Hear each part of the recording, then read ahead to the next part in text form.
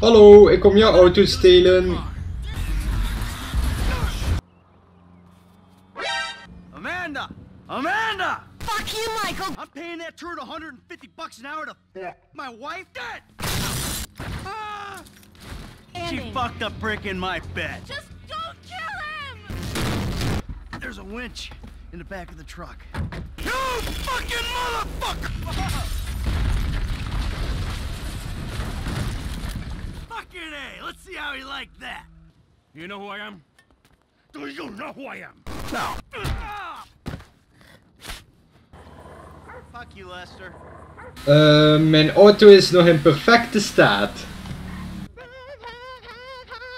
When Norris announces it at the keynote, minds are gonna blow. Oh! There was a, an Eastern European guy making moves in Liberty City, but nah, he went quiet. Hey, beautiful. I need to pick up a little something for the woman in my life. But one of them. What's her taste? Cheap? Or am I just paying for the evangelical logo here?